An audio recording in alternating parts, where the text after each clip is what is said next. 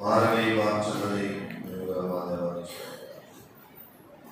దివ్య వ్యాపారం దివ్య పవిత్రమైన పవిత్రమైన నిజంగా ఇవే మా జీవితంలో ఇవే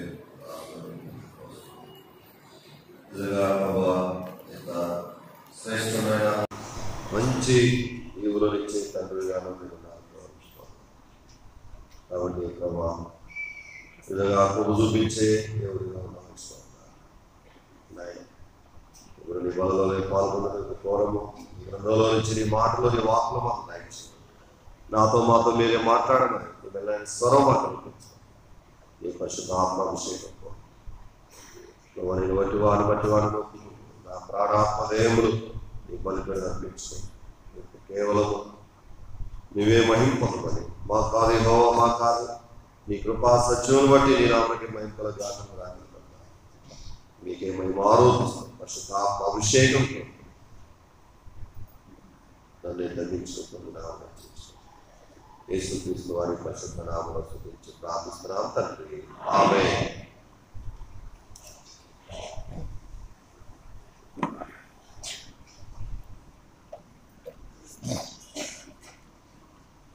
దేవుని యొక్క పరిశుద్ధ గంధం బైబిల్లో నుండి మొదటి కోరింది పదకొండో అధ్యాయము ఇరవై ఎనిమిదో వచ్చిన అండి.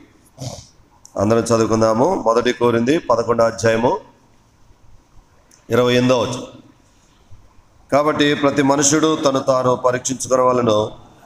అలాగు చేసి ఆ రొట్టెని తిని ఆ పాత్రలోనిది త్రాగవలెను. రెండవది దానియలు గ్రంథము పదకొండో అధ్యాయము ముప్పై రెండో వచ్చును దానియలు గ్రంథము పదకొండో అధ్యాయం ముప్పై రెండో వచ్చును చదవండి దయచేసి అందరూ. పదకొండు ముప్పై రెండులో మధ్యలో నుంచి. అయితే తమ దేవుని ఎరుగువారు బలము కలిగి గొప్ప కార్యములు చేసేదరు. మూడవది. రెండవ తిమోతి రెండవ అధ్యాయము ఒకటవ వచనం. రెండవ తిమోతి రెండవ అధ్యాయము ఒకటో వచనము. అందరం చదువుకుందామండి.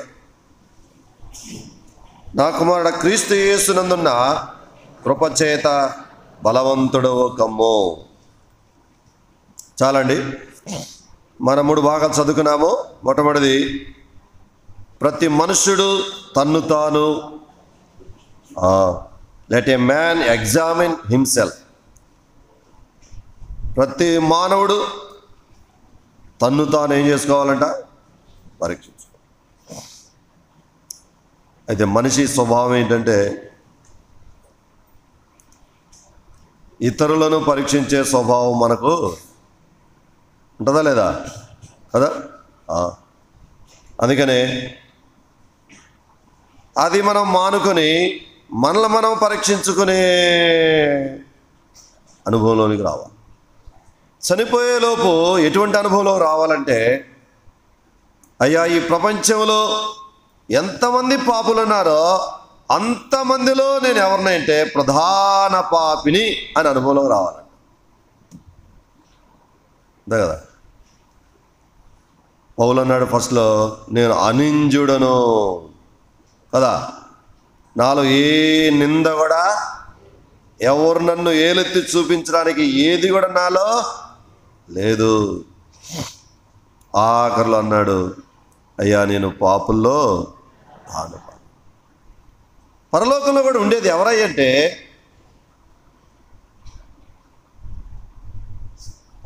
ఎవరుంటారు? చెప్పండి. అయ్యా నేను ప్రధాన పాపినైన నన్ను కేవలము నువ్వు ప్రధాని ప్రధాన ముద్దాయి అయిపోయి ఆ శిలవలో నా కొరకు ప్రాణం పెట్టి నన్ను రక్షించావయ్యా అనేవాళ్ళు అందులో ఉంటారు. రక్షణ అనేది కనుక మర్చిపోయామంటే పక్కన ఉండమంటాడు అంతే కదా? ప్రభు నీనామున అద్భుతాలు చేశాము మాకే పరలోకం అంటే ఏమన్నాడు? ప్రభు నీ నామన ప్రవచించామయ్యా మరి మాకుగా పరలోకం మరి ఎవరికంటే లేదు. నామన అనేకమైన అద్భుతాలు చేశామయ్యా అంటే ఏమన్నాడు? అసలు నాకు తెలియదయ్యా మీరు నేను మిమ్మల్ని అన్నాడను అసలు తెలియదంట మరి. అయ్యా కేవలము ఆ సిల్లవలో నా కొరకు ప్రాణం పెట్టి ప్రధాన పాపిని నన్ను రక్షించావయ్యా అంటే ఆ ఓకే పరలోకం. అది మెయిన్. ఎందుకంటే తన పూర్వ పాపములకు శుద్ధి కలిగిన సంగతి మర్చిపోతే గుడ్డివాడు అయిపోతాడు. ఏమని గుడ్డితనము కలిగిన పశువును ఏం చేయకూడదంట? పాత నిబంధనలో బలికి తాగదు. అంతే కదా? మరి తన పూర్వపాపములకు శుద్ధి కలిగిన సంగతి మర్చిపోయిన వాడు ఏమవుతాడు గుడ్డివాడు. మరి గుడ్డివారట అర్హులు కాదుగా? అంతే కదా? అందుకని చాలా జాగ్రత్త ఉండాలండు. సరే ప్రతి మనుషుడు తను తాను ఏం చేయాలంట? అందుకని మనం ప్రాక్టీస్ చేసుకోవాలి. ఏం ప్రాక్టీస్ చేసుకోవాలా? ఇతరులను వారు వేలెత్తి చూపించే దానికంటే నన్ను నేను నేను ఎటువంటి వాడను అనేది దేవుని వాక్యంలో చూసుకుంటూ పశ్చాత్తాపడుతూ అయ్యా నిజంగా నీలో నేను చూసుకుంటే నేను చాలా ఎలా ఉన్నాను? చాలా తక్కువగా కనపడుతున్నాను ప్రభు త్రాసులోనూ నన్ను చూస్తే నేను ఎలా కనపడుతున్నాను? తక్కువ కనపడితే మరి కుదరదుగా? అందుకనే ఇప్పుడు బైబిల్ గ్రంథంలో నుంచే మనము పరీక్షించుకోవాలి. అందుకే రెండవదిగా మనం చదువుకున్నాం కదా దానియేలు గ్రంథం పదకొండు అధ్యాయము ముప్పై రెండవ వచనంలో. తమ దేవుని ఎరుగువారు బలము కలిగి ఆ గొప్ప కార్యములు చేసి the people that do know their God shall be strong and do exploits తమ దేవుని ఎరుగువారు ఏం చేస్తుంటారంట? బలము కలిగి ఏం చేస్తుంటారు? ఒకవేళ దేవుణ్ణి మనం ఎరగకపోతే. అంటే నేను దేవుణ్ణి ఎలా ఎరగలను అంటే దేవుని సంబంధమైనవి కొన్ని ఉన్నాయి అవి మనం ఏం చేయాలంట? ఎరగాలి. అందుకనే యవనస్తులారా మీరు బలవంతులు. ఎందుకంట? బాగా బలంగా తింటారనా? ఎందుకనంట? దేవుని వాక్యం మీలో ఎందుకని అంటే చిన్నపిల్లల పాపం వాళ్ళు ఎక్కువ చదవలేరు. ముసలాళ్ళు అయిన తర్వాత వాళ్ళు చదవలేరు. బాగా చదివేది ఎవరై అంటే ఎవరు? ఎవరు అసలు? కొంతమంది ఎవరొస్తులు అనుకుంటారు ఆ ఇప్పుడు కాదులేరా బైబిల్ చదివేది. ఇప్పుడు ఆడరా తినాలా తిరగాల. ఆ ఇప్పుడు ఆడపారం బైబిల్ చదివేది? ఎగతాళి చేస్తారా? అని అనుకుంటా ఉంటారు. కాబట్టి బాగా బైబుల్ చదివే కాలం ఎప్పుడంట? యవ్వన కాలం పోయిన తర్వాత ఇక నీకు అవకాశము కళ్ళము నీళ్ళు గారుతుంటాయి మోకాళ్ళు అంగవు కదా ఎక్కువ కూర్చోలేము పండుకోబుద్ధి అవుతూ ఉంటుంది. ఏం చదువుతావు ఇక? పడుకొని ఏం చదువుతావు? కాదు చదవగా నిద్ర వచ్చేదే కదా. మోకాళ్ళ మీద ప్రార్థనతోడ బాగా బైబుల్ చదివే కాలం యవన ఆల్ అందుకని టైం ఈజ్ గోల్డ్ అన్నారు సమయము బంగారు. తర్వాత అంటే దేవుని వాక్యమును మనము బాగా చదివితే ధ్యానం చేస్తే మనకేమొచ్చింది? బలం. అంతే కదా? ఇంకోటి చెప్పుకున్నాం కదా పోయినసారి.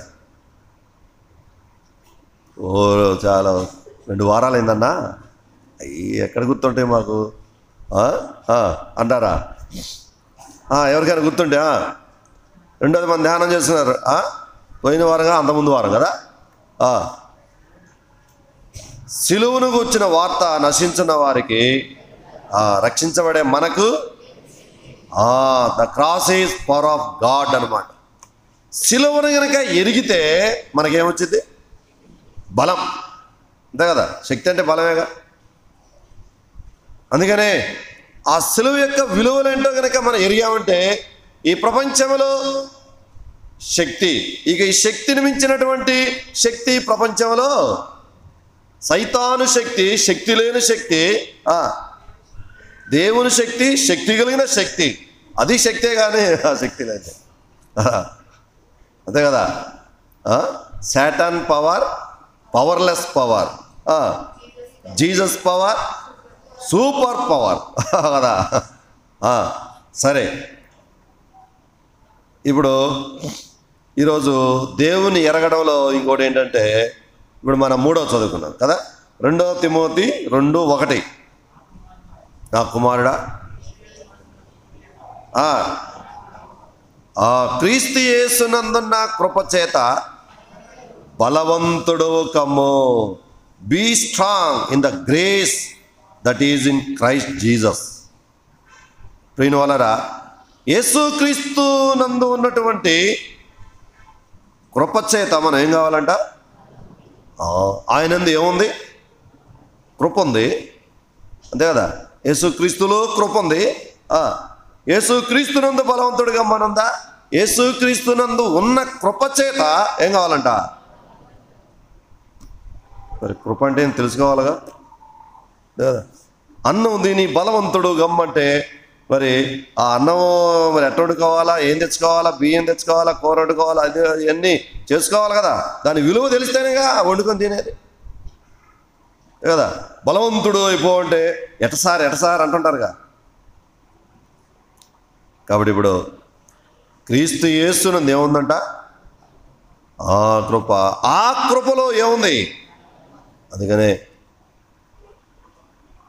the Lord's grace is power of God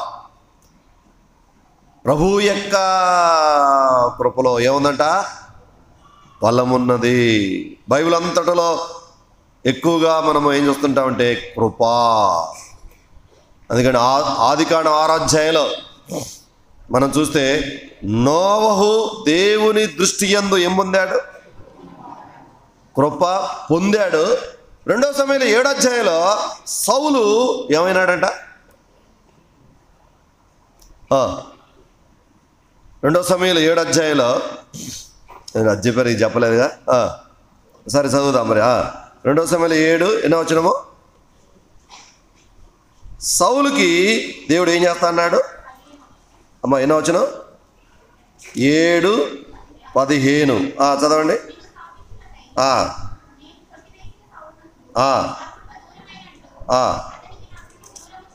సౌలుకు నా కృప దూరము చేశాను అని అర్థం. చూసారా ప్రిను నోవవుకు దేవుడు కృపను ఇచ్చాడు. అలానే దావీదుకు దేవుడు కృప ఇచ్చాడు. అలానే సొలోమోను కూడా నా కృపను దూరము చేయను. అది ఎలాగ దూరం చేయనంటే ఏ ఎలాగ చేయనంటే సౌలుకు నా కృప దూరం చేశానే అట చేయను. సౌలుకు నా కృప దూరం చేస్తే ఏమైపోయింది? ఏమైపోయాడు? పోయాడు పోయాడు పోయాడు పోయాడు పోయాడు. పోయి పోయి పోయి పోయి. ఎక్కడ పడ్డాడు? పోయాడు పోయాడు పోయాడు. ఎక్కడ పోయాడు? పోతనా పోతనా పోతనా అన్నాడు. పోయాడు పోయాడు పోయాడు. పోయి తన కత్తి మీద తానే పడ్డాడు. ఇప్పుడు ఎవరైనా సహాయం చేసేవాళ్ళు ఉన్నారంటే ఎవరు లేదు ఇప్పుడు నేనేం చేయాలంటే నన్ను ఎవరు చంపేవాడు కావాలి. ఎవరు కావాలి అంటే ఎవరు చంపట్లేదు. పక్కన ఆయుధాలు మోసేవాడు కూడా చంపురా అంటే నేను చంపనన్నాడు. అమ్మో నువ్వు అభిషేకించబట్టి దావీదే చంపలేదు నిన్ను. రెండు సార్లు దొరికినా నిన్ను చంపి నేనట. తండ్రు నేను చంపలేవు. అంటే అబ్బా చంపురా అల్లాడిపోతున్నానంటే నా వలగ నేను చంపకూడదండి నేను చంపనా. అప్పుడు అంతలో ఒక వస్తుంటే బాబు బాబు నీకు పుణ్యం ఉంటుంది. నువ్వు నన్ను ఏం చేయాలా? చంపండి. ఆ చంపేస్తానన్నాడు పొడిచి పడేసి. ఆ చంపినటువంటి వ్యక్తి దావి దగ్గరకు వచ్చి ఆహా దావిది గారు నేను సౌల్ని చంపేశానంటే ఆ బలి ధైర్యం చెబుతున్నది రో రా అన్నాడు. ఆ నేనే చంపలేదు సౌల్ని నువ్వెట్ట చంపుతావు? నువ్వు చంపి ఇప్పుడు నిర్దోష ఎలా అవుతావు? నేను నిన్ను చంపుతా అని అన్నాడు దావీదు అతను ఏం చేశాడు? చంపాడు. అంతే కదా అందుకనే దేవుని ఎందు ఏముందంట? కృప ఉంది. ఆ కృప నందు మనం ఏం కావాలా? బలవంతులం కావాలి అందుకనే దేవుని దగ్గర ఏముందంట? కృప ఉంది. ఇందుకే ఇంగ్లీష్లో గ్రేస్ అంటారు కదా? గ్రేస్. ఇంగ్లీష్లో అక్షరాలు ఎన్ని అక్షరాలు అంట గ్రేస్. G R A CE grace. అంటే ఇది ఎక్కడి నుంచి స్టార్ట్ అయిందంటే పరలోకంలో నుండి స్టార్ట్ అయ్యి మళ్ళీ పరలోకంలో ఎండ్ అవుతుంది ఈ గ్రేస్ ఎన్ని అక్షరాలు ఉన్నాయి? ఐదు అక్షరాలు. జి అంటే గాడ్స్ లవ్. అంటే దేవుడు లోకమును అక్కడున్న దేవుడు ప్రేమించి తన అద్వితీయ కుమారుని ఈ లోకానికి ఏం చేశాడు? పంపించాడు. అది యోహాన్ శ్రోత మూడు అక్కడి నుంచి ఇక్కడ పంపించాడు. ఎక్కడ స్టార్ట్ అయింది? గ్రేస్? అక్కడ స్టార్ట్ అయ్యి ఆయన సొంత కుమారుని లోకానికి ప్రతి వాడు నశింపక నిత్య జీవం పొందినట్లు అనుగ్రహించాడు. ఇప్పుడు ఆ కుమారుడు వచ్చేసి సిలువలో ప్రాణం పెట్టి మనలను ఏం చేశాడంటే విడిపించాడు సైతాన యొక్క దీన్నే ఆర్. రెండోది ఆర్. ఆర్ అంటే రిడిమ్షన్ అంటే విమోచించుట సైతాన్ యొక్క శక్తుల్లో నుంచి సైతాన్ మళ్ళీ పట్టుకున్నాడా నువ్వు పాపం చేసావు ధర్మశాస్త్ర ప్రకారం ఏం కావాలా? ఇందా మన బ్రదర్ చెప్పాడే రాహుల్ తీసుకొని ఏం చేయాలంట? ఇప్పుడు కూడా దుబాయ్ ఆ ప్రాంతాల్లో కఠినమైన శిక్ష ఉంది. ఇప్పుడు కూడా కారణం ఏంటంటే ధర్మశాస్త్రం. కాబట్టి యేసుప్రవారు ఆ సిలువలో వ్రేలాడిపోయి రక్తం ఇచ్చి ఆ రక్తం ద్వారా మనల్ని ఏం చేశాడు? విమోచించాడు. సైతాను చేతుల్లో నుంచి మనం ఏం చేశాడంట? సైతాను చేతిలో నుంచి ఎవడు కూడా విడిపించుకోలేడు. కారణం ఏంటంటే బాయ్ నువ్వు నేరం చేసావు కాబట్టి చావాల్సిందే. మొన్న ఒకసారి దిశ అనే ఒకటి వచ్చేసింది కదా హైదరాబాద్లో. అందరూ ఎక్కడ చంపండి ఉరేయండి మాకు అప్పచెప్పండి కాల్ చేస్తాం చంపేస్తాం పొడి చేస్తాం. ఓ ఆ, ఎన్నో మాటలు. ఎవడైనా సరే వద్దంటే వాళ్ళకుందే మరి తప్పు చేసినాడు? అయ్యా నువ్వు తప్పు చేసావు కదా నువ్వు ఎట్టా అసలు ఊరుకోరా? పట్టుకో. నేను తీసుకెళ్తా నరకానికి అంటున్నాడు. ఏడుస్తున్నావు అయ్యో తప్పు చేసాను తీసుకెళ్తున్నాడు ఏం చేయాలా? ఏం చేయాలంటే అప్పుడు యేసుప్రభు వచ్చి వాళ్ళన్నా అత్యాచారం చేసి హత్యాచారం చేశారు. అయితే మనము చూపుల్లోనే ఏముందంట? కాబట్టి మోహపు చూపు చూస్తేనే ఏం పేరు? వ్యభిచారం. తోటి వారిని ద్వేషిస్తేనే హత్య. ఇప్పుడు మనలో ఎన్నున్నాయి? హత్య ఉంది హత్య ఉంది. ఇప్పుడు రెండు ఏడు. ఏం చేయాలా? షూట్ చేయాలా? తెల్లారుజామున పోలీసు వాళ్ళు ఏం చేశారు? నలుగురిని. ఏంటండి ఏందండి? ఎన్కౌ ఎన్కౌంటర్ చేశారన్నమాట. చూసారా మనల్ని కూడా ఏం చేయాలంటే ఎన్కౌంటర్ చేసి చంపేసేయాలి. కనబడకుండా. అలాగా ఎనిమిది మంది తప్ప మిగతా వాళ్ళందరినీ ఆ సముద్రంలో ఎన్కౌంటర్ చేసినట్టే దేవుడు వాళ్ళు ముంచి వేశాడు కళ్ళ ముందే జలప్రళయం వస్తుంది. అయ్యో అయ్యో అని కేకలేస్తున్నారు. అయ్యో అయ్యో నోవాని కేకలేస్తుంటే నోవా అంటున్నాడు నా వల్ల కాదయ్యా. దేవుడే తలుపులు ముగించేసి ఆ బిగించేశాడు. అయ్యో చచ్చిపోతున్నాము చచ్చిపోతున్నాము. ఆ నీళ్ళలో మునిగి ప్రపంచమంతా ఎనిమిది మంది తప్ప మిగతా వాళ్ళందరూ ఏమైపోయినారు? అయ్యో. వాళ్ళందరికి ఏ శిక్ష వచ్చింది? మరణశిక్ష. నీళ్ళు పంపించి చూసారా అది దేవుడు అన్నాడు అయ్యో పాపట్టు మునిగిపోతున్నా. ఈసారి అట కాదు నా కుమారుడు పంపిస్తాను అని చెప్పేసి కుమారుడిని పంపించి ఆ శిక్ష అంతా కూడా ఆయన మీద చంపడే చంపడే సిలు వేయండి. ఎందుకయ్యా? ఈయన నేనారు సిలు వేయండి సిలు వేయండి సిలు వేయాల్సిందే చంపాల్సిందే చంపాల్సిందే అంటున్నారు అందరూ. వారి కేకలే. ఎవరినాలి ఆ మాటలు మనల్ని అనాలి యేసుప్రభు వారు అలా అనిపించుకున్నాడు. అయ్యో ఏమి చేయలేదు నేను ఇట్లా అన్నారంటే మనకు బదులుగా ఆయన అందుకని జీవితకాలం అంతా ఆయన రుణం అంట మనము ఎప్పటికీ ఏమనాలంట? ఏసయ్యా వాళ్ళు కేకలేసారే సిలువేమని. నన్ను అనాలి ప్రభువా నన్ను అనాలి నన్ను చంపమని వాళ్ళు కేకలేయాలి. అది ఆ ప్లేస్ నాది అది నీది.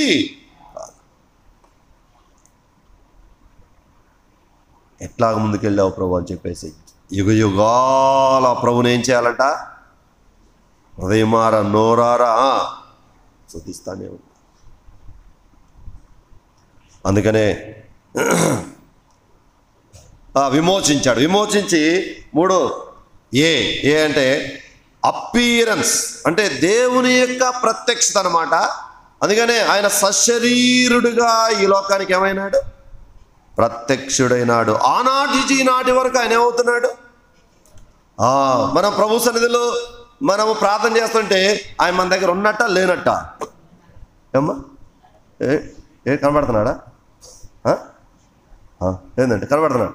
ప్రార్థన చేస్తున్నాడు ప్రభు ఎవరికైనా చేసేదే అంటే? దేవుడికంటే. ఏడ్రా దేవుడు అంటే సయ్య కాపడ సయ్య ఎవరికి రా అంటే? అది ఎవరు లేరు కదా ప్రార్థన చేస్తున్నా? చూసారా ఇప్పుడు మనం ఎవరితో మాట్లాడుతున్నట్టు? ఆ దేవుడు ఈడున్నాడు ఎక్కడున్నాడంట? మన హృదయంలో ఉన్నాడు కదా? మన దగ్గర ఉన్నాడు మనతో ఉన్నాడు కదా? చుట్టూ ముందు వెనక ఏమైనాడు? ఆవరించి ఉన్నాడు. సదాకాలని మీతో కూడా అబ్బా దేవుని ప్రత్యక్షత అనుభవిస్తా ఉంట అబ్బా కొంచెం ఆగండి కొంచెం ఆగండి. నేను కొంచెంసేపు ఇంకా ప్రభుత్వం అంటారు కొంచెం ఆగండి. కొంచెం ఆగండి. ఎవరు నన్ను కలదపరచొద్దు కొంచెం ఆగండి. అని ఆ ప్రియురాలు కూడా ప్రమాణం చేయించుకుంది కదా? ఆయన ఈ భూమి మీద అందరికి ఏమవుతున్నాడట? ప్రత్యక్ష తలుపు నద్ద నిల్చుండి. ఇదిగో యా తడుచున్నాను. అమ్మా ఇదిగో తడుచున్నాను. ఇదిగో తలుపు తీయని కాదు పోనీ ఉంటుంది. వస్తా మీ హృదయంలో వస్తానండి. పోయా మా వద్ద అన్నారు జనం. ఏదో ఆ దేవుని పుణ్యమా అంటే మనం చేర్చుకున్నాం. ఆ చేర్చుకోనోళ్ళ కంటే మనం గొప్పడమా ఇది కూడా ఒక వరమేనంట దేవుని కృపే.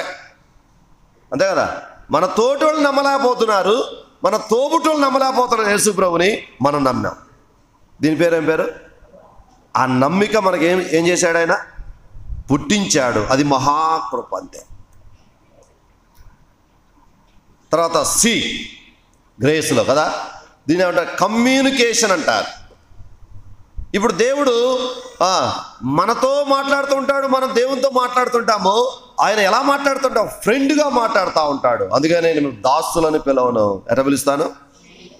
ఫ్రెండ్స్ ఎప్పుడెప్పుడు మాట్లాడుకుంటారు? ఎప్పుడు మాట్లాడుకున్నా ఎందురా ఏందిరా? ఏదో ఫోన్ చేయలేదేంది? తొందర. ఏంది? నువ్వు చేస్తావు అనుకున్నా చేయలేదేంది? అన్నాడు. చేస్తా చేస్తాను చూస్తాను అదే ఒక దాసుడు యజమాని అంటే దాసుడు భయపడతా అయ్యి గారే ఉంటాడు అయ్యో అంతే కదా? స్నేహితుడు స్నేహితో మాట్లాడినట్టు మోసే ఏం చేశాడంట? మాట్లాడాడు. ఆయనతో మనకున్న కమ్యూనికేషన్ అనమాట కాబట్టి ఎంతకాలమైన ఆయనతో మాట్లాడచ్చు నెక్స్ట్ ఈ ఈ అంటే ఎటర్నల్ లైఫ్ నిత్యమైనటువంటి జీవం. ఓ యుగయుగాల నిత్య జీవములో అక్కడి నుంచి స్టార్ట్ అయింది. మళ్ళీ ఎక్కడ స్టార్ట్ ఎక్కడికి వెళ్ళిపోయింది? ఆ జీవములో నిత్యమైన జీవములోనికి. పోయిన వాళ్ళరా అందుకనే తెలుగులో ఏముందంటే రెండో కోరింది తొమ్మిది ఎనిమిదిలో రాయబడింది కదా? రెండో కోరింది తొమ్మిది ఎనిమిదిలో మీరు మన ప్రభు అయిన యేసుక్రీస్తు కృపను ధనవంతుడై ధనవంతుడయుండి ధనవంతులు కావాలని మీ నిమిత్తము దరిద్రుడాయను. ధనవంతుడైన దేవుడు మన కొరకు దరిద్రుడైపోయి దరిద్రులైన మనతో సహవాసం చేసి ఆరితిగా మనల్ని కూడా యుగయుగాలు ఆయనతో పాటు సమానమైన ధనవంతులుగా చేయడానికే దేవుడు ఏం చేశాడు? ఇష్టపడ్డాడు. ఎంత గొప్ప భాగ్యము. అందుకనే ఆయన కృపను ఎన్నడూ మనం ఏం చేయకూడదంట? అందుకనే ఆయన కృప ఎటువంటిదంటే చూడండి కీర్తనలు నూట మూడు ఎనిమిది. కీర్తన నూట మూడు ఎనిమిది. కుపా కృపా సమృద్ధి గలవాడు. చాలు. దీని వలరా the Lord is plenteous in mercy. Mercy grace రెండు పాత్ర మందల్లో మందలో వాడబడుతూ వచ్చినాయి. ప్రేమ వాళ్ళరా దేవుని యొక్క కృప ఎటువంటిదంట? సమృద్ధి ఎంత సమృద్ధి అంటే అంత సమృద్ధిగా ఉంటుంది. అంత మాత్రమేది కాదు ఆయన సర్వకృప కృప ఆ, దేవుడు. అందుకనే ఇంకా ఆ కృప గురించి చూడండి. వందో కీర్తన ఐదో వచ్చును ఎంతకాలం ఉంటుందంట ఆ కృప?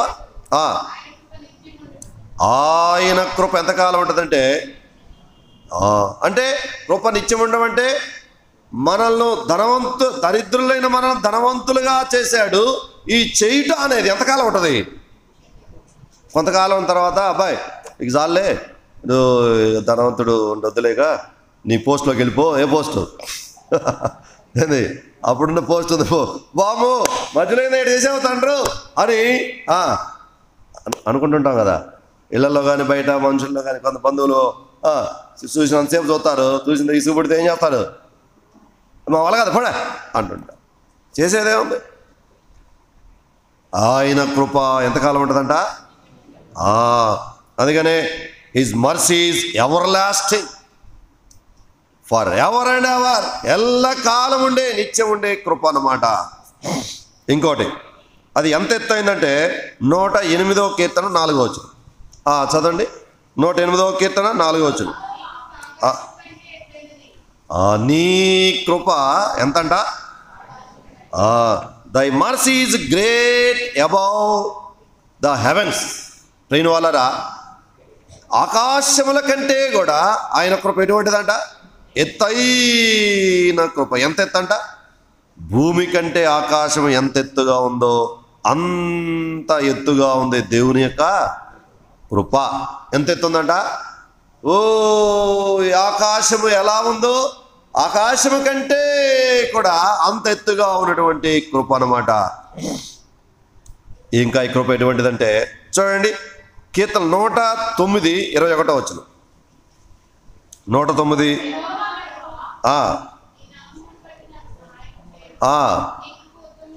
నీ కృప ఎటువంటిదంట? దై మర్సీస్ గుడ్ దేవుని యొక్క కృప ఎటువంటిదంటే ఉత్తమమైనదనమాట ఎంతో మంచిది ఎంతో శ్రేష్టమైనది. ఎన్ని యుగాలున్నా కూడా అబ్బా అబ్బా చాలా బాగుంది అబ్బా చాలా బాగుంది అబ్బా చాలా బాగుంది అని యుగ యుగాలు యుగ యుగాలు యుగ యుగాలు యుగ యుగాలు చాలా ఉత్తముడు. ఆయన పేరే ఏం పేరంట? ఉత్తముడు కదా. ఇంకోటి కీర్తన యాభై ఆరు ఏడో వచ్చింది ఇవన్నీ దేవుని దగ్గర నా కృప ఎటువంటిదో చూస్తున్నాం. యాభై ఆరు ఏడు.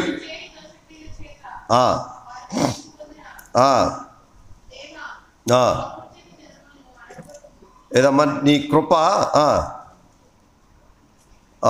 అమూల్యమైంది లేదా? యాభై ఎనిమిది ఏడు చూడండి.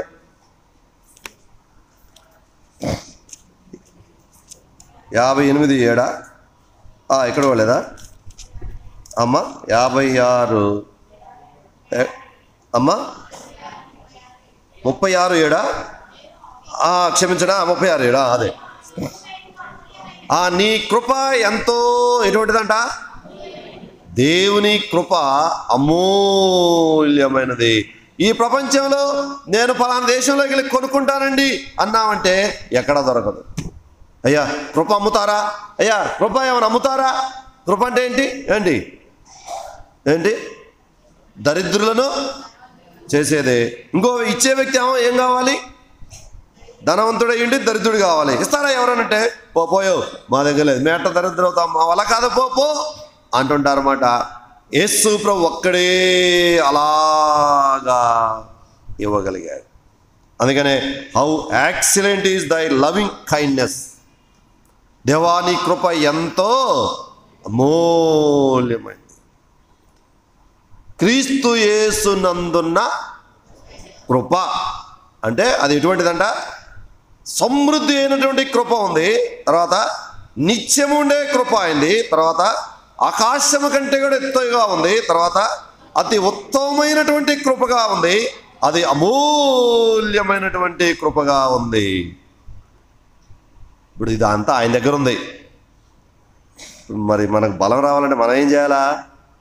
కృప కృప ఎందు అంటే దాన్ని ఏం చేయాలి? ఇప్పుడు మనం చేయాల్సింది ఏంటంటే మొట్టమొదటిది కీర్తనలు యాభై తొమ్మిది పదహారు. యాభై తొమ్మిది. ఇప్పుడు మనం చేయాల్సినవి. ఆ,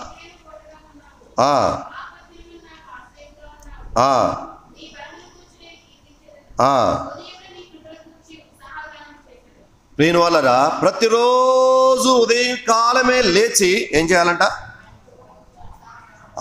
I will sing aloud of thy mercy in the morning ఎలాగా పాడాలంట? ఉత్సాహ అలౌడ్ అన్నాడు పెద్దగా. అది ఉదయకాలమే లేచి ఆర్థిక ప్రభుని ఆరాధించి ఆర్థిక ప్రభుని ఘనపరిచి అలాగ ప్రతి ఇంటిలో కుటుంబ ప్రార్థన చేసుకొని ఉదయం ఒక పాట పాడుకొని ఆర్థిక ప్రభుని ఘనపరచాలి. ప్రతిరోజు ఉదయం ఒక పాట యొక్క అలౌడ్ అనగా ఒక శబ్దము ఒక సౌండ్ అనేది రావాలి. అలాగ పండుకునే ముందు కూడా ఏం చేయాలంట? అలాగా ప్రభుని ఘనపరుస్తూ ప్రభుని స్థుతిస్తూ ఉత్సాహ గానము దేని గురించి అంట ఆయన కృపను గురించి. ఇది చాలా ప్రాముఖ్యమైనది. ఉదయమున ఏం చేయాలంట? ఆయన కృపను గురించి ఉత్సాహ గానము. ఒకవేళ నాకు అవసరం లేదంటే నీ ఇష్టం. అది ఆ కృపలో ఉన్న బలము ఇక నువ్వు ఎరగలేవు. అది నువ్వు పొందుకోలేవు. నువ్వుగా నేను కానీ సరే. నేను అయినా నువ్వైనా ఎవరైనా సరే కదా? అది దాని రూల్ అంటే రూలు. అంతే కదా? ఒకటి ఉదయకాలం ఏం చేయాలంటే? ఆ కృపను గురించి ఉత్సాహధ్వని. రెండోది రెండోది ఏం చేయాలంటే చూడండి దయచేసి. కీర్తన నలభై ఎనిమిది తొమ్మిదో వచ్చిన నలభై ఎనిమిది తొమ్మిదో వచ్చిన దేవా దేవా నీ ఆలయమునందు ఏం ధ్యానిస్తామో? ఆ, దేవాలయములోనికి వచ్చి ఏం చేయాలంట? అమ్మా ఇంట్లో ధ్యానం చేసుకోకూడదా? ఏమండి? ఇంట్లో ధ్యానం చేసుకోకూడదా? ఎక్కడ ధ్యానం చేయాలంట? దేవుని మందిరంలోనికి వచ్చి ఏం చేయాలంట? దేవుని మందిరంలో ఎవరుంటారు? దేవుడు ఉంటాడు కదా? ఇది నా నివాస స్థలము. ఇక్కడ నేను నివసించదను. ఇక్కడనే నా దృష్టి నా మనసు ఎల్లప్పుడూ ఉండును. ఇక్కడనే నేను విశ్రమించేదను. ఇది నా విశ్రమ స్థలము. కాబట్టి నేను ఎక్కడ ఉంటాను ఇది దేవుని మందిరమే. ఇదే పరలోకపు గవిని. ఇది వేరొకటి కాదు. నిశ్చయముగా యహో ఈ స్థలం ముందున్నాడు అన్నాడు యాకోబు కూడా కదా? ఎక్కడికి రావాలా? ఎక్కడికి రావాలా? లేస్తే ఎక్కడ ఉండాలా ఏందండి? లేస్తే ఎక్కడ ఉండాలా అందుకని దావిదన్నాడు చిరకాలం నేను యహోవా మందిరములో నివాసమా? అటు వెళ్ళి వస్తుంటానన్నాడు నివాసం అంటే? లేస్తే మనము మన ఇల్లు గుర్తొచ్చింది మా ఇంట్లో వాళ్ళు ఎవరు చేస్తారు మా ఇంటికి పోవాలి మా ఇంటికి పోవాలి బంధువుల ఇంటికి వెళ్ళామనుకోండి ఒక రోజు ఉండగానే మా ఇంట్లో ఏం చేస్తారా? మా ఇంట్లో ఏం చేస్తారా? తొందర పోవాలా? మా ఊరు పోవాలి? మా ఇంటి పోవాలి? మా ఇంటి మా ఇంటి పోవాలి? మా ఇంటి పోవాలి? అంటా ఉంటాం. ఏంటమ్మా ఎప్పుడు మా ఇల్లు మిగిలిన అంటావు? రాక రాక కదా ఉంటుందంటే అబ్బా వాళ్ళు ఏం చేస్తున్నారు? మా ఇంట్లో వాళ్ళు ఏం చేస్తారు? మా ఇంటికి పోవాలి త్వరగా ఎందుకంట? లేదండి ఎందుకంట? అలానే దేవుని మందిరం అంటే ఎవరి అంట ఎవరి ఇల్లు? మన దేవుని ఇల్లు. నా తండ్రి ఇల్లు. యేసుప్రభు అన్నాడు. నా తండ్రి ఇల్లు ఇది దీన్ని వ్యాపారటిలుగా చేయొద్దు కదా? ఇది ఎవరిల్లంట అంట? నా తండ్రి ఇల్లు. నీ ఇంటిని గుర్చిన ఆసక్తి నన్ను.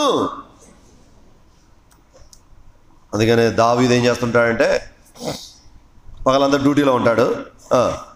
సాయంత్రం ఐదు అది కాగానే ఏం చేస్తాడు? ఇంటికి పోయి ఐదు ఏడు గంటల దాకా ఇంటి పనులు అయ్యి కొంచెం మరి ఇల్లు కూడా చూసుకోవాలా? లేకపోతే ఇల్లు పడుచుకోవట్లేదు ఇంటి నేలన్నాడు మళ్ళీ ఏందయ్యా? లేస్తే ఆడుంటా ఉంటారుగా. నువ్వు అది కూడా చూసుకోవాలా? ఇంట్లో ఏం కావాలా ఏం చూసుకొని మళ్ళీ ఏడు గంటలకు ఎక్కడికి వచ్చేసేవాడు? మందిరానికి వచ్చి. ఇక సంఘ ప్రార్థన బైబిల్ పట్టణము సువార్త కొడుకు ఎక్కడో కాటేజ్ మీటింగు ఏదో మీటింగులు ఉంటాయి కదా. యాచకులతో పాటు అలాగా దేవుని కనపరిచాడు. ఏ పది పదకొండుకి ఇంటికి పోయేవాడు. అంతే కదా? అలా రోజు ఎక్కడికి వస్తాడు? కాబట్టి డ్యూటీ చూసుకునేవాడు ఇల్లు చక్కపరుచుకునేవాడు ఎక్కడికి వచ్చేవాడు? మనము? మా చెప్పండి. అండి ఏంది? డ్యూటీ తర్వాత ఇల్లు. మూడోది? ఏది మరి మందిరం ఒకవేళ దేవుని మందిరం యొక్క అనుభవంలోనికి నువ్వు రాలేదనుకోండి అయ్యా నీ ఇంట్లోనూ నివాసం చేసావు అబ్బాయి అంటాడు రేపు. దావీదును మన పక్కన పెడతాడు. దావీదు ఏమన్నాడు? అయ్యా నీ మందిరంలో నేను నివాసము చేశాను. దావీదు నివాసానికి నీ నివాసానికి ఎంత తేడా ఉందో చూడమంటాడు. ఇంకా అడుగుతుంది మరి? అంతే కదా? కనీసం ఓ సంఘ ప్రార్థన బైబిల్ స్టడీ ఉపాస ప్రార్థన ఒక ఆదివారం. వారానికి ఎన్ని రోజులు? ఏడు రోజులు వేసుకోండి. ఏడు రోజుల్లో ఒక సంప్రా ఒక సంఘ ప్రార్థన ఒక బైబిల్ పట్టణం ఒక ఉపవాస ప్రార్థన ఆదివారం. వారానికి ఎన్ని వచ్చినాయి? నాలుగు వచ్చినాయి. అంటే ఏడిట్లో ఎక్కువేమో దేవునిలు వచ్చింది తక్కువేమో నీళ్ళు వచ్చింది. మిగతా మూడు రోజులు మామూలుగా ఇల్లు. ఎక్కువ వచ్చిందే అది ఎన్నికలోనికి వచ్చింది. నీ ఇష్టం. నేను ఆదివారం వచ్చి ఆదివారం వస్తానంటే రేపు ఏమొచ్చేది లెక్క? అంటే ఆదివారం వచ్చి ఆదివారం అంటే ఆదివారం వచ్చి కొంతమంది లేటుగా వస్తారు. ఆ, ఒంటి గంటకలు అయిపోద్ది. ఎంత? చూసారా లేని వాళ్ళరా. రైట్ టైంకి వచ్చినా మనం ఉండేది ఎంత టైం అంట మందిరంలో? మరి లెక్కలకు వచ్చిద్దా? అయ్యా నీ మంది నివాసం చేశాను నేను కూడా దావీదిలాగా అంటే ఏమంటాడు అమ్మా లెక్కలకు వచ్చిద్దా? నివాసం చేసిన రావాలి కదా. అందుకనే దేవుని కృపను దేవాలయంలోకి వచ్చి ఏం చేయాలంట ధ్యానించాలి. అసలు దేవాలయంలోకి వచ్చేది కూడా దేని కొరకంటే అయ్యా నేను దేవుని కృపను ధ్యానం చేయడానికి వచ్చాను. దేనికి వచ్చావయ్యా నువ్వు? అంటే దేనికి వస్తున్నాడంట దేవుని కృప దేవుని కృపే ఆయన కనపరచడం ఆయన స్థుతించడం ఆయన వాక్యం ఆయనే ఆయన ప్రజలే ఆయన సేవ ఆయన కార్యాలే ఆయనకే మహిమ. చూసారా పొద్దున లేచి ఇంటిలో కృపణ గురించి ధ్యానం చేసి గానం చేయాలా? దేవుని మందిరకు వచ్చి ధ్యానం చేసి దేవుని దేవుని ఇంటిలో స్థుతించాలి. మూడోది. చూడండి కీర్తన తొంభై రెండు ఒకటి రెండు మూడు కలిసి ఉన్నాయి చూడండి కీర్తన తొంభై రెండు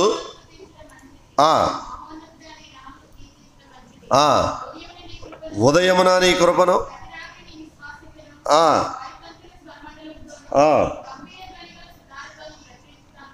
ఆ, ప్రచురించుట ఉదయమున నీ కృపను ప్రతి రాత్రి. కనీసం వారం ఒకసారన్నా మనము ఏం చేస్తుండాలంట? ప్రచురించుట. సువార్త. అంటే అర్థం ఏంటంట? అయ్యా ధనవంతుడైన దేవుడు ఈ లోకాన్ని దిగి వచ్చి శిలువలో ప్రాణం పెట్టాడండి. రక్తం కార్చాడండి చనిపోయి పాత పెట్టబడి తిరిగి లేచాడండి. నన్ను నన్ను మమ్మల్ని రక్షించాడండి. మిమ్మల్ని కూడా రక్షించడానికి సిద్ధంగా ఉన్నాడండి. ఇదిగో చూడండి ఒకసారి యేసుప్రభు వైపు అని చెప్పడమే. దాని పేరు ఏం పేరు? ఉదయమున నీ కృపను. కదా? కాబట్టి ప్రియుని వాళ్ళరా దేవుని కృపను మనం చేతనంతవరకు ఏం చేస్తుండాలంట ప్రచురించాలి. ఫస్ట్ ఇంట్లో ధ్యానం చేయాలా? తర్వాత దేవుని ఇంట్లో ధ్యానం చేయాలా? తర్వాత దాన్ని ఏం చేయాలంట? ప్రచురించాలి. తర్వాత మన జీవితకాలం అంతా కృపయందు నమ్మిక ఉంచాలి. కీర్తనలు యాభై రెండు ఎనిమిది. చూడండి. యాభై రెండు ఎనిమిది. నేనైతే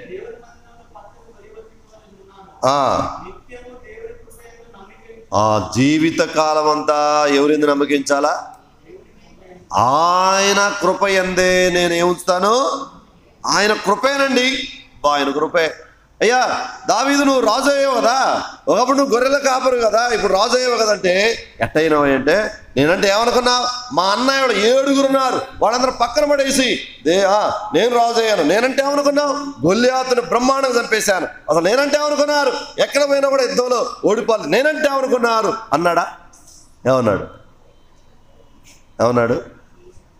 అయ్యా నిజంగా ఆయన కృపే. గొర్రెల దొడ్డులో ఉన్న నన్ను తీసి ఏం చేశాడు?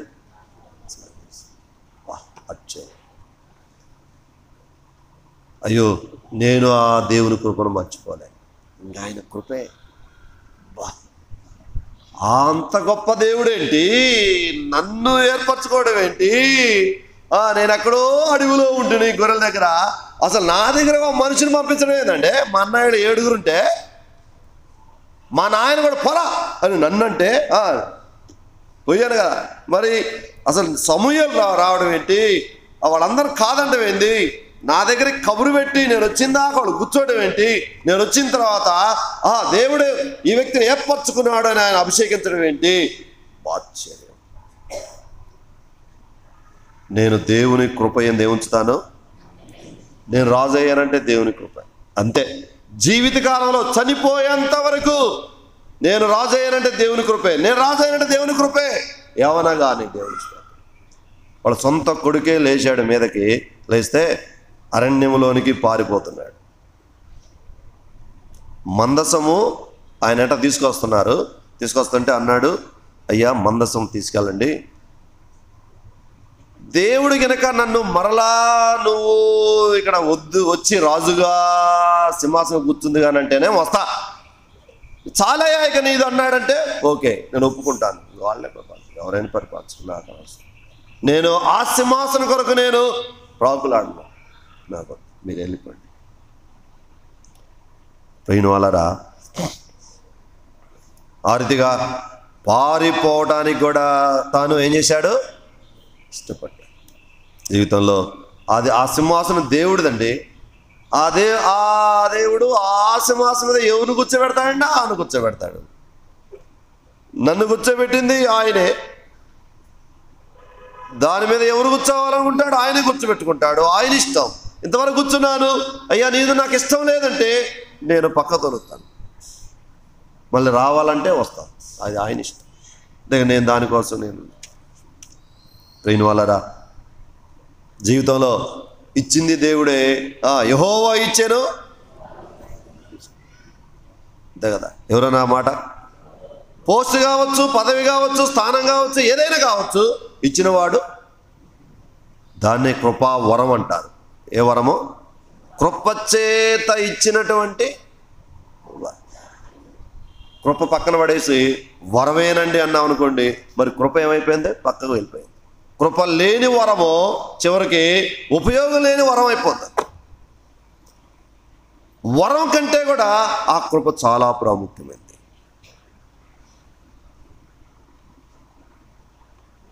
కాబట్టి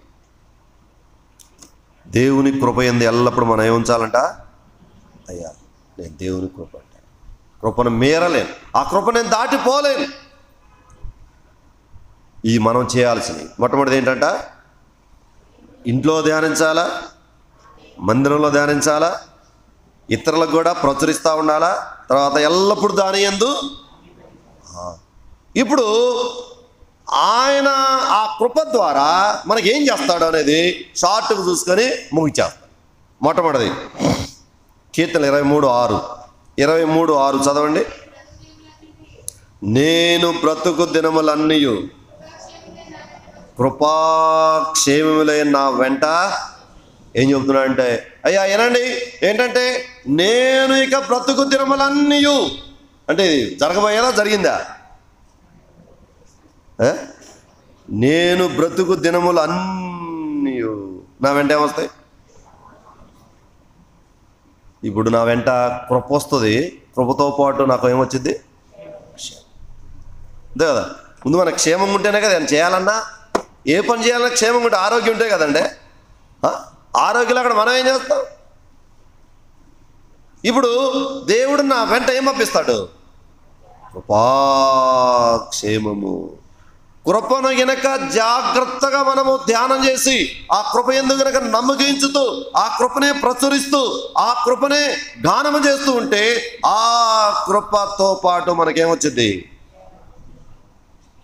నీ క్షేమం ఎలా ఉంటుంది అన్నాడు నది వలే కదా? అట్లానే క్షేమాభివృద్ధి. అందుకనే సంఘం ఏం పొందాలంట? క్షేమాభివృద్ధి. సంఘములో కుటుంబంలో జీవితంలో కృప అనేది కనుక ఉంటే వ్యక్తిగత జీవితంలో కావచ్చు కుటుంబ జీవితంలో కావచ్చు సంఘములో ఏమొస్తా ఉంటుంది ఎప్పుడు? కృప అనేది ఉండాలి. ఇది ఒకటి. రెండవ చూడండి. సామెతలు పంతొమ్మిది ఇరవై రెండు. సామెతలు పంతొమ్మిది ఇరవై రెండు. కృప చూపుట కృప చూపుట నరుని పరులకు ప్రియునుగా చేయును. ఏముందంట? కృప చూపిస్తే కృప చూపిస్తే నరుడు ఏమవుతాడంటే ఇంకొకళ్ళకి? నరులు అంటే వేరే మనుషులు.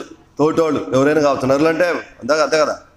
కృప చూపిస్తే మనము ఇతరులకు ఏమవుతాం మనము? వా. అందుకనే జీవితకాలం అంతా కృప చూపిస్తూ పోతా ఉండాల. కృప. ఏం చూపించాలంట మనము? కృప చూపుట నరుని పరులకి ఆ నరుడెవరు? మనం అనుకోండి పరులంటే తోటివాడు. అందుకని జీవితకాలం అంతా ఏముండాలండి మన దగ్గర? ఈ కృప మనం చూపిస్తూ ఉంటే ఈ ప్రపంచంలో ఎవరైనా సరే మనకి ఎలా ఉంటారు? శత్రువులు మాతారా ఆ, ఇటు చూసిన శత్రువులేనండి. ఇంట్లో శత్రువులే సంఘాల శత్రువులు. ఇటు చూసిన శత్రువులే. ఏందన్నా కర్మ అంటే ఏమి లేదంట. నెబుకద్నెజరకి దానియేలు ఒక వర్తమానం ఇచ్చాడు. బాయ్. మొద్దు కొట్టబడింది జాగ్రత్త. అది మళ్ళీ పెరిగిద్ది అటట. ఏడు కాలాల తర్వాత అది మళ్ళీ అవుద్ది. అయితే నువ్వు గనక ఆ మొద్దు నువ్వే ఆ చెట్టు నువ్వే జాగ్రత్త. అది నువ్వు పని చేయాలన్నాడు. అది నీకు సంభవించకుండా ఉండాలంటే ఒక పని చేయాలన్నాడు. చూడండి దానియలు గ్రంథం. దానియేలు గ్రంథము. చూడండి నాలుగో అధ్యాయము. నాలుగో అధ్యాయము. ఇరవై ఏడు.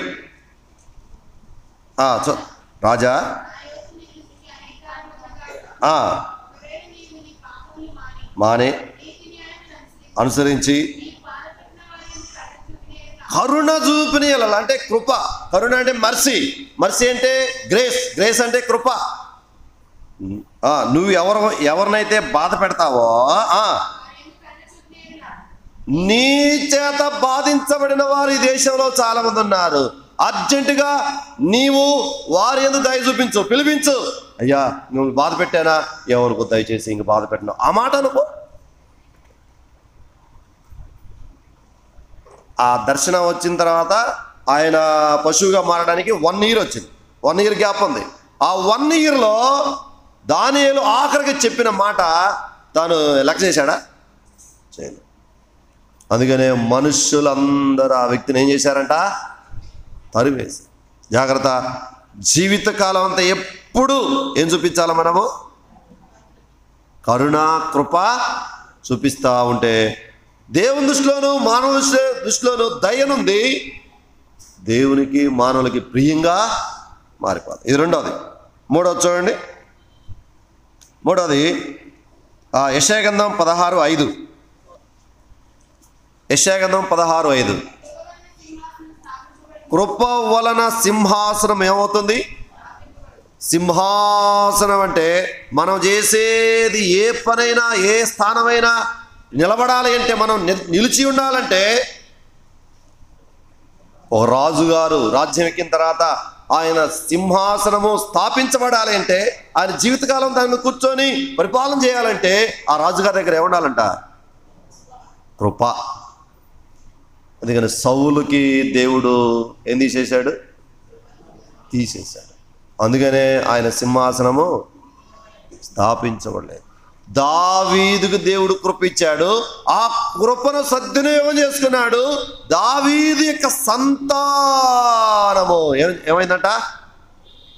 ఆ దావీదు సంతానములో ఉండి వచ్చిన వాడు ప్రభు అయినా ఇదిగో నేను ఎవరిని తెలుసా అన్నాడు యేసుప్రభు వారు. ఎవరినంటే? దావీదుకు వేరునండే దావీదుకు చిగురును.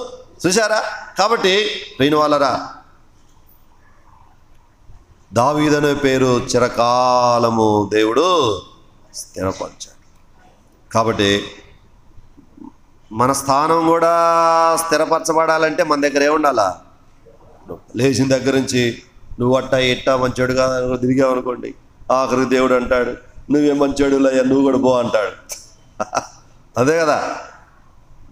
మనం ఇత్తిందే? అందరు మంచోడు మంచోడు కాదన్నావు. చివరికి అది ఇత్తాము అదే పోలిసింది. అది మొలిసిన తర్వాత చెట్టు అయింది. ఆ చెట్టు అంటుంది నువ్వే మంచోడు కాదంటుంది. అంతే కదా మరి? ఇది కృప వల్ల ఏమవుతుందంట? ఎప్పుడు మనము కృప ఇస్తా ఉంటాడు. సింహాసనము స్థిరంగా ఉంటుంది. ఇంకోటి సామెతలు ఇరవై ఇరవై ఎనిమిదో వచ్చు ఇరవై అధ్యాయంలో ఇరవై ఎనిమిదో వచ్చు ప్రియుని వల్లరా ఒక రాజుగా ఇంతకీ మనందరం రాజులమేగా? అంతే కదండి మనందరం రాజులే రాజులైనా మరి ఇంక మనకేందంట? అందరు రాజులమే. రాజులైనటువంటి మనల్ని దేవుడు కాపాడేయాలంటే ఏముండాలంట?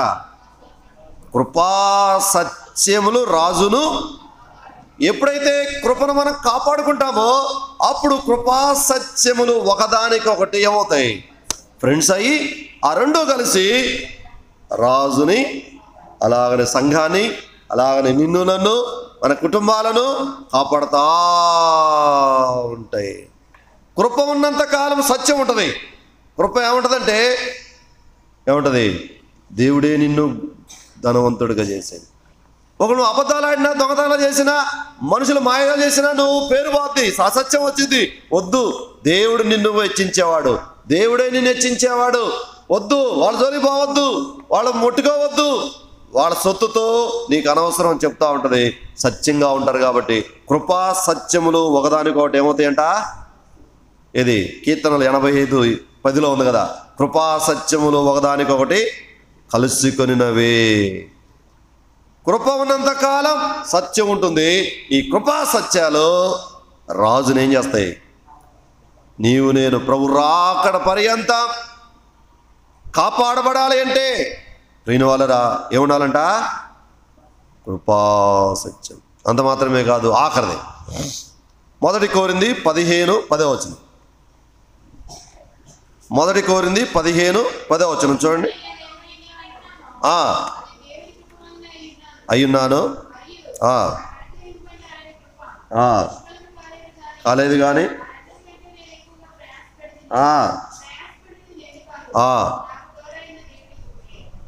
ప్రయాసపడ్డాను కానీ అమ్మో ఆ ప్రయాసలో నాకు తోడుగా ఉంది ఎవరంటే ఎవరు?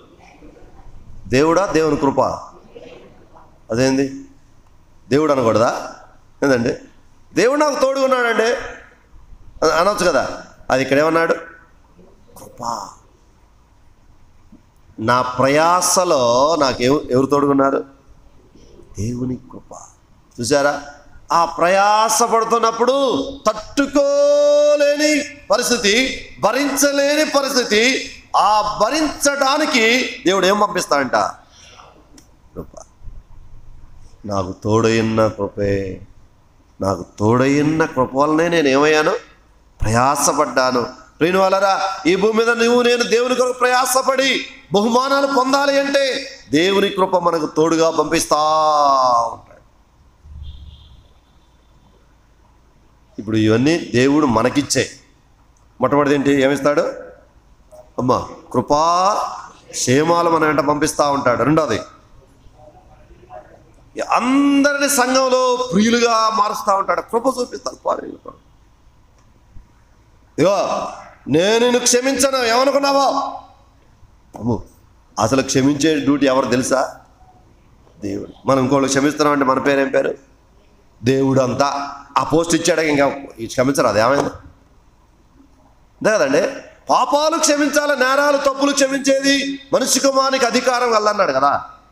మరి మనం ఇంకొకరు క్షమిస్తున్నామంటే అది ఎవరి పోస్టు? దేవుడి పోస్ట్. దేవుడి పోస్ట్లో ఉండి పోస్ట్ పోషించరాదు. అదే కదా ఆ పోస్ట్ని ఏం చేయాలా? పోషించాలి. ఇచ్చాడు కదా బా దేవుడంతా. దేవుడంతా కావాలనుకున్నాడు. లూసిఫరు దేవుడు వద్దన్నాడు ఇప్పుడు మళ్ళీ ఏం చేశాడు? దైవములు అన్నాడు. బా దేవుని వాక్యం ఎవరికి వచ్చిద్దో వారు ఎవరు ఇంకొకళ్ళు క్షమించేది ఎవరు? దైవం మనమే. బా అయ్యా వాళ్ళని క్షమించే భాగ్యం నాకు ఇచ్చా క్షమిస్తాను ప్రభా అబ్బా ఈ పోస్ట్ నాకు ఇచ్చావా? చాలయ్యా ఇంతకన్నా నాకేం కావాలా? బా అందరిని ఏం చేస్తే ప్రియులుగా? ఇంకోటి ఏంటంట సింహాసనము ఏమవుద్ది? ప్రియుని వారు దేవుడు మన కృపావారాలు ఇచ్చి జీవితకాలం అంతా దేవుని పని చేయడానికి దేవుడు మన స్థిరపరుస్తూ ఉంటాడు. తర్వాత? ఆ, కృపా సత్యములో రాజును ఏం చేస్తుంటాయి?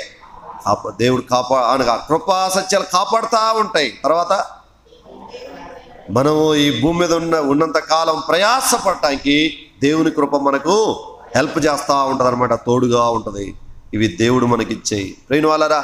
అందుకనే ఈ భూమి మీద ఉన్నంత కాలము మనం ఎల్లప్పుడూ దేవుని కృపను ఇంట్లో ధ్యానం చేసుకోవాలి దేవుని మందులకు వచ్చి ధ్యానం చేసుకోవాలి తర్వాత ఆ, దేవుని ప్రచురించాలి ఆ దేవుని కృప యందు నమ్మకించుకోవాలి. ఇంతకీ ఈ కృపను మనకి ఇవ్వడానికి ఆయన దగ్గర ఉందా? ఎంత ఉంది అంటే ఎంత ఉందంట? సమృద్ధి అయిన కృప ఉంది. తర్వాత నిత్యము ఉంటుంది. తర్వాత ఆకాశం కంటే ఎంత ఎత్తు అంటే ఓ ఇటు చూస్తే చాలా అంత ఎత్తు. అమ్మో చాలా ఉందండి అనొచ్చు. ఈ మందిరం ఎంత ఎత్తు అంటే ఎన్ని రోజులు ఉంటుంది ఇది? నాలుగు రోజులు ఉంటుంది అనుకోవచ్చు. అంతే కదా? ఆకాశము కంటే కూడా తర్వాత అయ్యా బాగుంటుందంటావా? వచ్చి తీసుకున్న తర్వాత ఏమన్నా మనకి కాల్చిద్దా లేదా నష్టపరిచిద్దా అంటే కాదండి మొత్తం ఇది మంచిదండి. వెరీ గుడ్ తర్వాత బా అసలు ఈ ప్రపంచం ఎక్కడ దొరకదండి అది? అమూల్యమైనటువంటి కృప. ఇటువంటి కృపను నోకిచ్చాడు ఆ కృపను పొందాడు. ఆనాడున్న ప్రపంచము ఎవరు కూడా కృపను పొందలేకపోయారు. అందరూ ఆ సముద్ర నీళ్ళల్లో రేణు కృపను పొందుతున్నామా? పొందిన దాన్ని జాగ్రత్త చేసుకున్నామా? కృపను వ్యర్థం చేసుకున్నామా? మీరు పొందిన దేవుని కృపను వ్యర్థము చేసుకొనవద్దని ఆ, బతిమాల్చున్నాడు కదా? రేణు వాళ్ళరా కాబట్టి దేవుడు నీకు నాకు కృపిస్తున్నాడు. ఆ కృపను మనం సద్వినియోగం చేసుకున్నామా? వ్యర్థం చేసుకుంటున్నామా? అనేది పరీక్షించుకొని సౌలుకు దేవుడు కృప ఇచ్చాడు.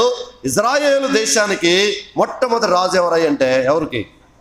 అంత గొప్ప భాగ్యం ఇస్తే కృపను ఏం చేసుకున్నాడు? అందుకని ఆ కృపను దేవుడు ఏం చేశాడు? తీసేశాడు. ట్రైన్ వాళ్ళరా దేవుడు నిన్ను కనికరించే కృప ఇచ్చాడు. ఆ కృపను సద్వినియోగం చేసుకుందామా?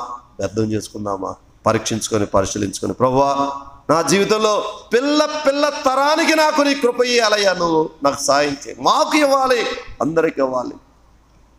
అయ్యా నీ కృప నాకు అవసరం అని చెప్పేసి ఆ రీతిగా ప్రభుత్వం తీర్మానం చేసుకొని ఆ రీతిగా ప్రభు వలలో మనము పాలు పంపులు పొందుదాం. ప్రార్థన చేసుకుందాం.